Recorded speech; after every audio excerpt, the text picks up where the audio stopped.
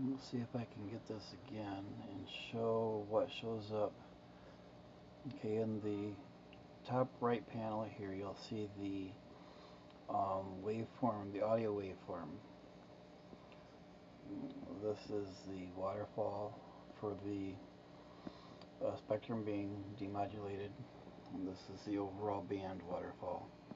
Over here you see the signal from the previous video. And there you see the uh, wave, if you will, coming back, which was not seen on the other video.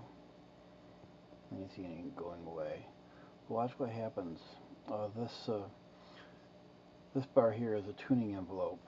This vertical bar, uh, currently set as AM, using uh, 50 uh, 50 megahertz or nope 50 kilohertz bandwidth. Yeah, watch the top uh, top window there as I move the uh, tuning envelope.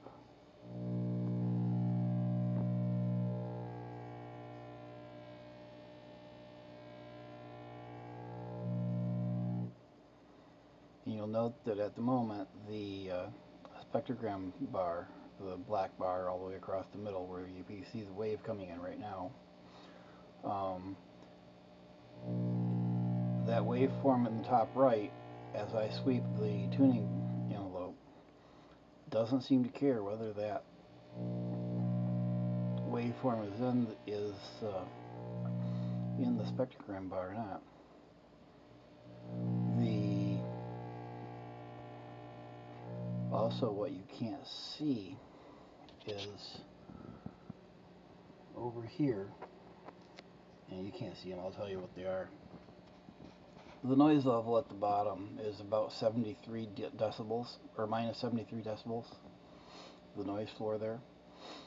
The sharp, the top of the sharp peak when present is minus 14 decibel. That's a pretty big signal. What it is, nobody knows. I don't have a clue. If anyone can explain that, I would love to know.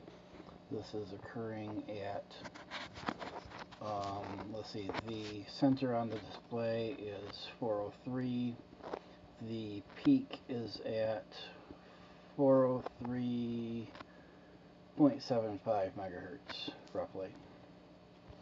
It's just uh, just up from, yeah, we'll call it 403.75 is the uh, right edge of the signal there.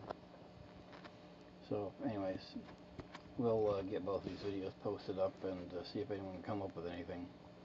Catch you later.